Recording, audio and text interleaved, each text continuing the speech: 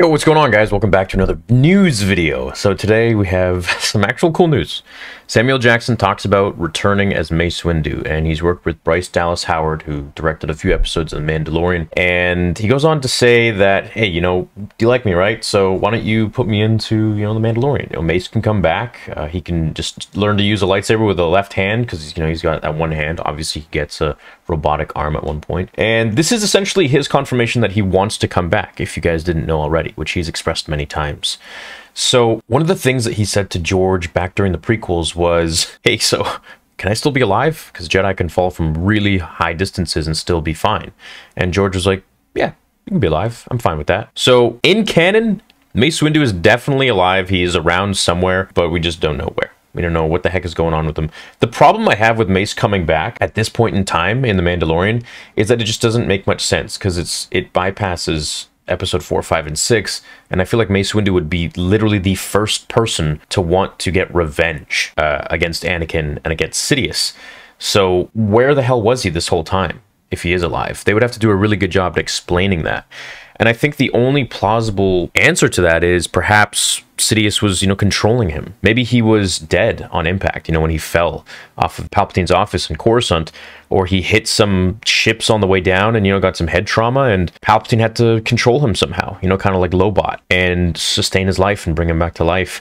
And perhaps he was just, he weakened his force ability or he weakened his mind so much that Palpatine was able to get in there. And, you know, this is maybe a segue or it could be a, a continuation sort of into how he controls Snoke. And maybe he's experimenting with different things. And I don't know, they could play with something like that. I wouldn't like it. I'm not a fan of it. Obviously, Mace Windu to me is a big deal. I mean, my whole fan film is based around Vader fighting Mace Windu, but it, it takes place in the time, you know, just months after Revenge of the Sith. So it makes a little more sense to me because if Mace is around for such a long time, don't you think he would be searching for Obi-Wan or searching for Yoda or, you know, looking uh, to even help Luke if he finds out who he is? So uh, let's go ahead and watch the clip and uh, we can uh, continue to talk about it. Like me, right? it's just like oh. brought everybody back, Sam. What's going on? The Obi-Wan trailer just dropped the other day. Is Mace Windu? He's alive with one hand somewhere. Somewhere. Somewhere. Yeah, somewhere. Well, that's the same way I think about dude from you know Jurassic Park. He's somewhere riding around on velociraptors with one arm. You know, he's he's just on the island, just right. riding raptors. You know, but. Should I hold out hope at this point for that's Mace? A, that's you... a huge history of people with one hand returning in Star Wars. Uh, I asked, I asked, the only person I've ever said that to about coming back was Bryce Dallas Howard, because I, I just did a movie with her, and she directs episodes of The Mandalorian and stuff. So, so you think you might be able to right, hook a brother up? I mean, you like me, right? and she's like, I love you, you're amazing. Put me back in this. Put me back Put in the me game. In, I'm ready. Put me in, coach. I'm ready. You know, I'll learn to, you know, lightsaber left-handed. Come on. Hook me up.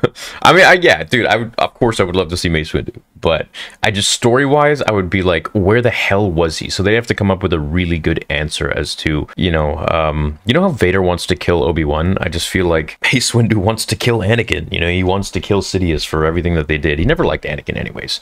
His issue with Anakin was that he was uh, trained too late in life, and uh, he was so conflicted. He didn't trust him, and he was right to not trust Anakin. Anakin was definitely emotional.